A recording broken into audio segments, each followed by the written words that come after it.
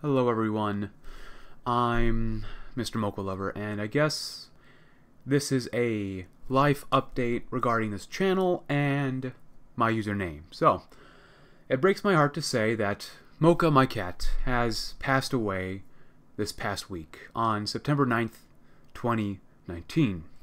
So for probably most of you, if not everyone, you really don't care and I understand that. You know, it's just a cat after all, right? But for me, me personally, this cat was incredibly special and impactful on my life. So, now, Mocha was always considered my cat in my family. My mother and I picked him out, or picked him up, back in 2005 when I was barely in middle school. You know, we went to the animal shelter for fun, and when we got there, we kept hearing a cat meow constantly. It was almost an uninterrupted meowing, and this animal was basically telling us that he was alone and wanted attention and company. So we picked up that cat, and he was named Frank. But we renamed him Mocha, which I have basically now have a slideshow of him on screen. So, Mocha, he was with me throughout almost all of my middle school, both of my high schools, both colleges I attended, he was with me during my first real job, my unemployment, and now my graduate studies. It's just, you know, he was with me for so many stages in my life that it's so hard to not see him by my side anymore. Whenever I was alone or needed company, you know, he was always there for me.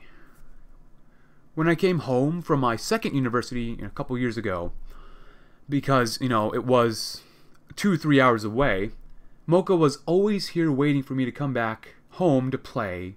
He always wanted to get rubbed and he was always waiting to have a good time with me.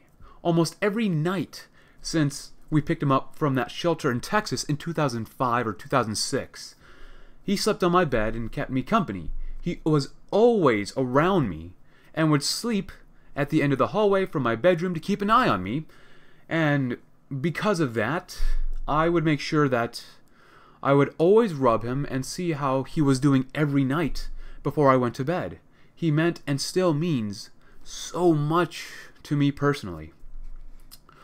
But like I said earlier, Mocha passed away because he had some rare paint, uh, pancreatic and gallbladder problem that would have cost us like 4,000 to $5,000 on top of the current hospital treatment when we took him in a few days ago. I still remember the painful sounds he meowed when we saw him for the last time, and that he was ecstatic when we came to see him. Because he was initially coming out of his drug state, he was a little worried about who he was seeing, but because of my mother's and my talking and rubbing, he became extremely relaxed and wanted to get rubbed. He even put his head on my arm for the last time and gave me a little clawing like old times. But we needed to do the right thing, and we put him out of his pain and misery. I love Mocha so much. It's so hard to see anyone or any animal that you grow up with and grow and an emotional attachment and to see that animal or person pass on. You know, I don't reveal a lot or a ton of information about myself, but I'm a very emotional person despite the persona I might not give off, you know, just I try not to be too emotional, you know, sometimes in my gameplay videos I can get angry or emotional, but in general, if you knew me in real life, you you wouldn't think I'm an emotional person. I can grow though very very attached to almost anything and anyone. And when it or I must leave, I become heartbroken like I am now. You know, I always remembered. I don't know why, but I always remembered this one story that my eighth grade teacher told us as a class about this one guy she knew and his cat.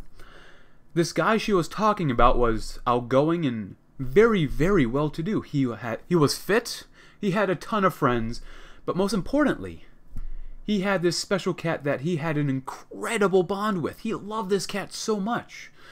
But she told me, my eighth grade teacher told me, that when this cat passed away, he committed suicide because he couldn't stand living without his cat.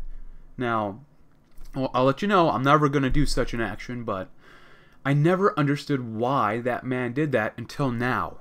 Until now that I have experienced the same type of a loss. I recognize the pain and suffering that this man must have went through when his buddy passed away. You know, Mocha was my buddy and my friend, and I won't ever forget him. No one can replace him, but I am glad I got to know him and that he will forever be on YouTube and BitChute because of the special subscriber special I did. So, you know, I have other cats, but the I don't have such an emotional connection with those animals as I did Mocha because I literally grew up with Mocha. The other cats, they they can be bribed with food and that's all they really want. But Mocha, he wanted to get to know you. He wanted to be around you. He he just loved being around the family. But you know, I'm sorry if I brought some of you guys down with this video. I know you guys never really got to know him that well. I just wanted him to be a central part of this channel, but he's he's gone now, and because of that, I will focus more on myself than my cats, and that this channel, with my username Mr. Mocha Lover, will about be about me and my life and how my animals are a part of it, especially Binky and the animal you probably don't even know in my family still, Snuggles. I know I I know I'm leaving things out of this video that I want to say, but I can't remember everything that I wanted to say, but I want to thank you guys, the viewers, for watching all of my videos and literally being a part of my life. It really means a lot to me, and because of this, I suppose I created a Discord if you want to join and talk about yourself a little bit. The link will be, hopefully, at this time down in the description below. But, anyways, thank you very much for listening to A Crazy Cat Lover. I love you, Mocha, and rest in peace, my friend.